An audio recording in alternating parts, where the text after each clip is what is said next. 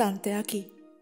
He dicho antes que una nave con propulsión por jet de plasma puede alcanzar unos 100.000 kilómetros por segundo, que viene siendo una tercera de la velocidad de luz. Noten que es propulsión y aún así se levanta una velocidad considerable. Hay algunos elementos conocidos en la Tierra dentro de leyes de masa y aceleración que sí resultan válidos.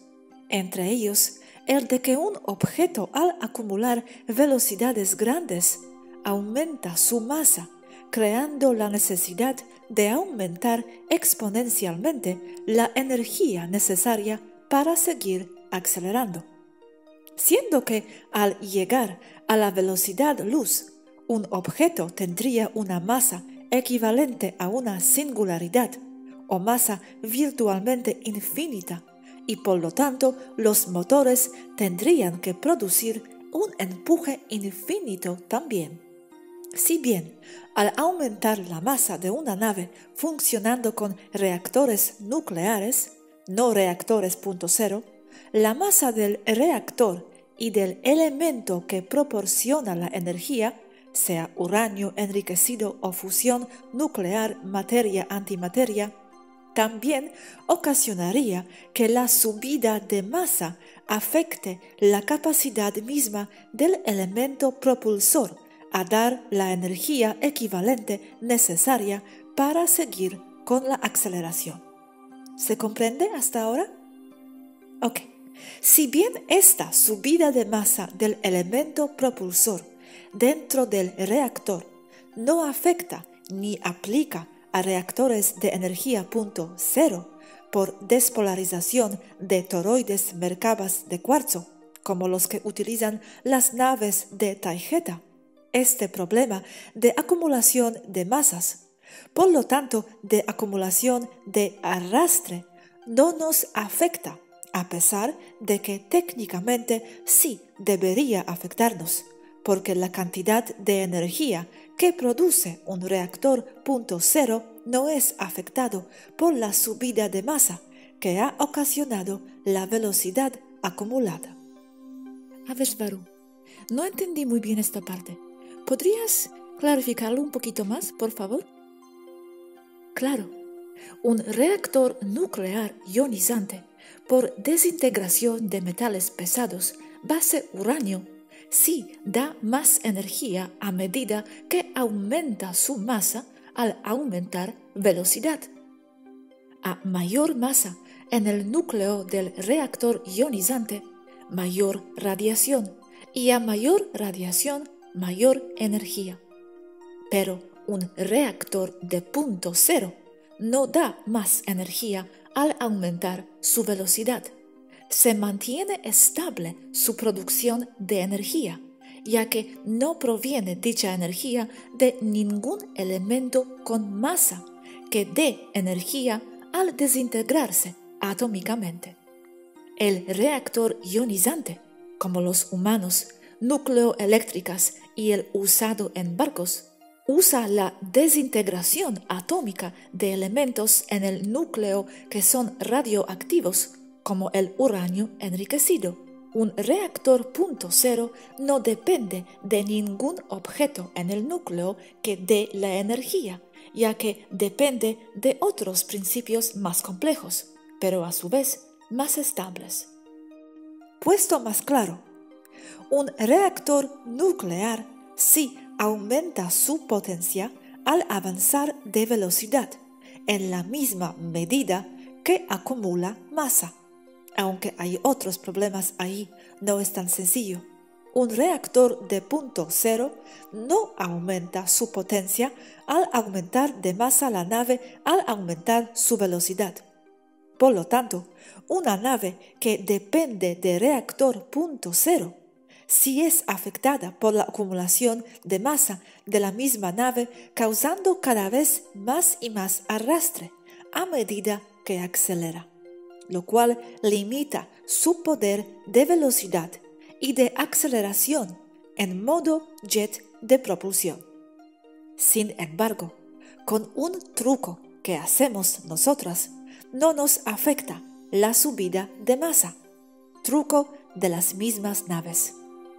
A medida que una nave aumenta de velocidad, por lo tanto de masa arrastre, el mismo toroide de inmersión de la nave, que también sirve de escudo de protección contra materiales fortuitos, piedras y escombros espaciales, con algoritmos que controla el ordenador de la nave, va reduciendo de masa de la misma nave, volviéndola más ligera.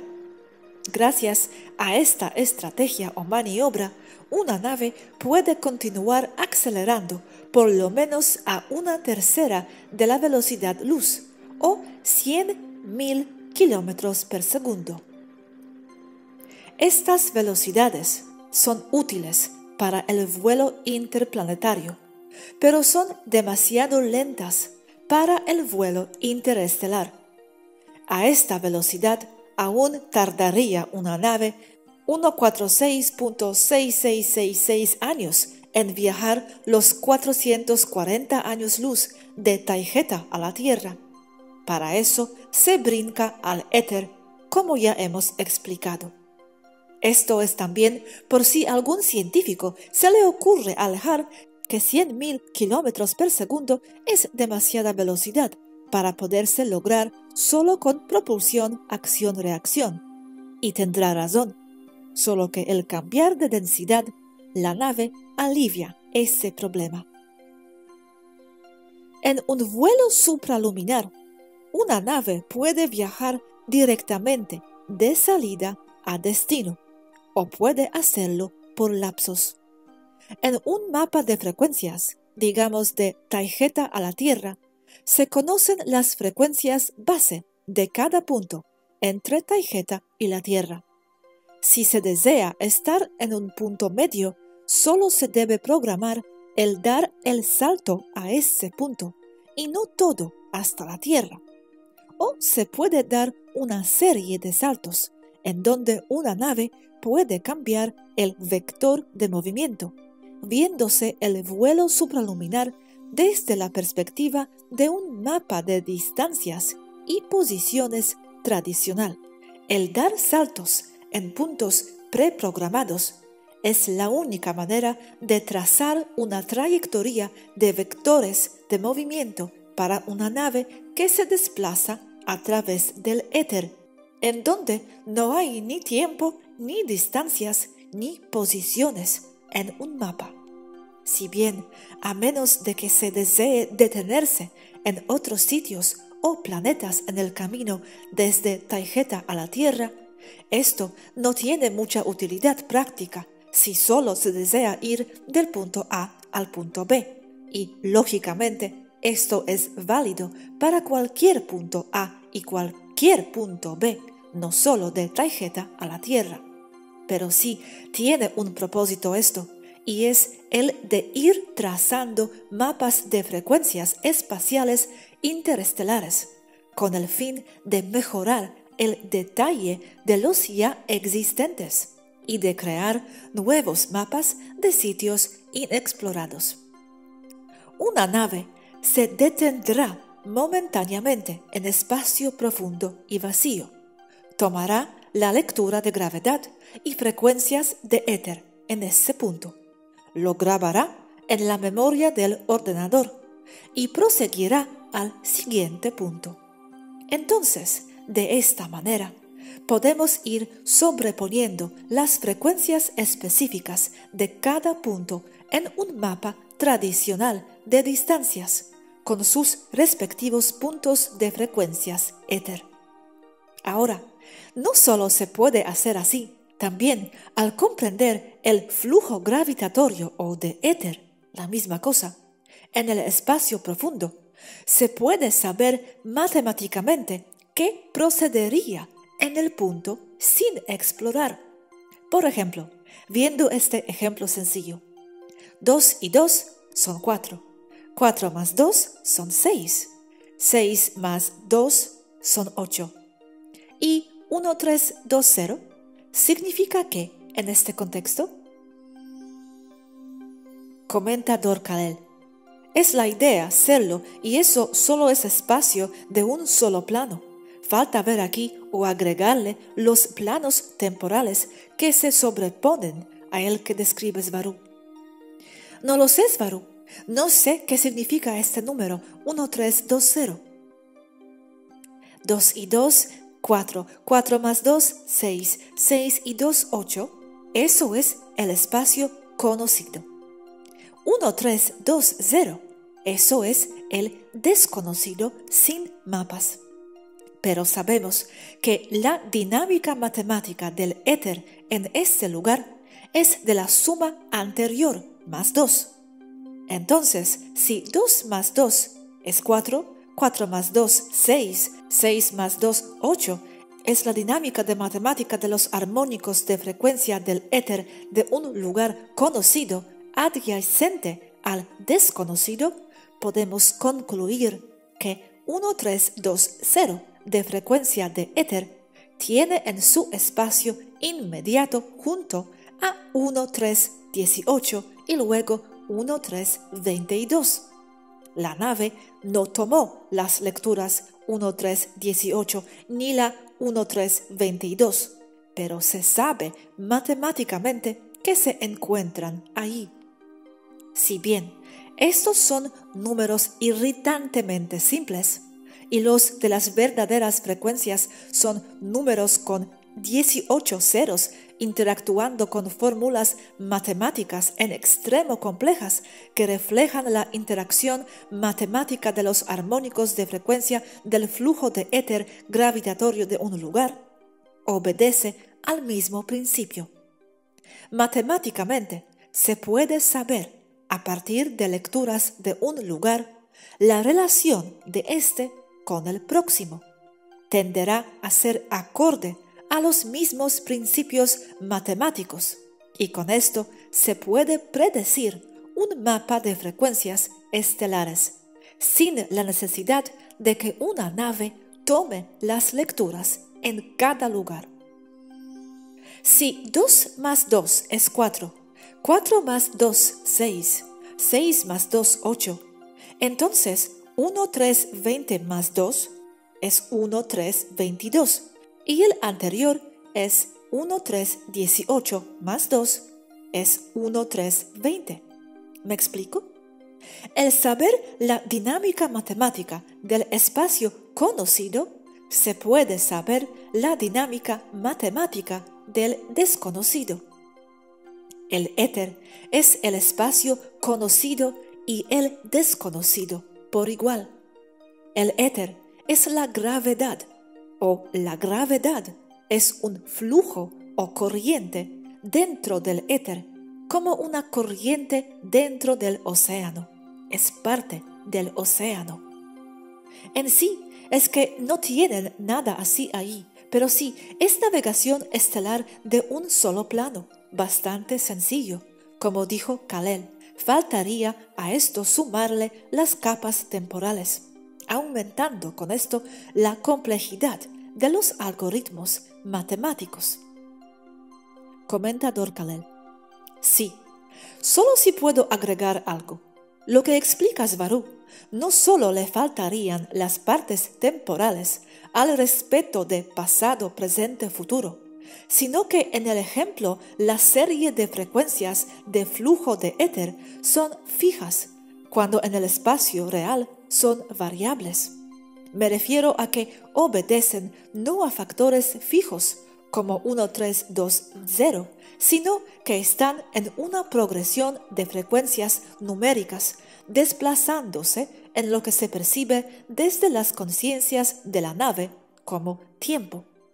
Sí, aunque eso le agregaría aún más complejidad, y por eso es un armónico de una frecuencia porque no es una frecuencia fija, sino una secuencia matemáticamente perfecta que ocasiona o forma lo que se percibe como un lugar. Es música, o sea, la música es una secuencia perfectamente entrelazada de frecuencias, con relaciones entre sí de cada nota o grupo de notas que forman la música. Lo mismo en el éter. Las armónicas de las frecuencias son o se desarrollan de manera perfectamente calculable entre sí, mas no iguales. Y esto creará una sopa de frecuencias, en donde cada armónica creará las ondas estacionarias, que a su vez formarán los objetos que vemos allí en cada lugar. Y el tempo en la música, el ritmo, la duración de cada nota, cómo se relaciona con las que tocan los demás instrumentos, forman una sopa auditiva de ondas sonoras dentro de la sala de conciertos, que no son más que eso, ondas sonoras, y que con la intervención de una conciencia se les da un significado, que es el concierto mismo como arte, como música, como algo bello. La sopa de ondas sonoras dentro de la sala de concierto sería el equivalente a los flujos gravitatorios dentro del éter. Y solo con la intervención y la interpretación de una conciencia se puede interpretar como un concierto o lugar material. Soles, planetas, civilización y todo lo demás solo son flujos gravitatorios, pero la conciencia las interpreta y las convierte en algo con un significado. Por cierto, el 432, que suma 9, es una frecuencia armónica que es constructiva porque promueve la formación de ondas estacionarias acordes a las frecuencias de mente o conciencia. Las alienta, por eso suman 9. Si no es una secuencia perfecta, matemáticamente precisa, música, se colapsa la onda estacionaria desintegrando la materia de nuevo al éter. Entonces, para crear música más compleja, de una sola flauta a un concierto completo, se van agregando algoritmos matemáticos que rigen las ondas sonoras, pero todo perfectamente entrelazado para crear un concierto completo y complejo. De la misma manera, las ondas estacionarias, al aumentar de complejidad y en sus armónicos, también van creando cosas más y más complejas, como sistemas solares, planetas, constelaciones. Si lo que se desea es hacer un mapa de un área más pequeña, como un sistema solar, se puede mover la nave con motores de gravedad o de jet de plasma, mientras que toma lecturas de valores de gravedad para el ordenador.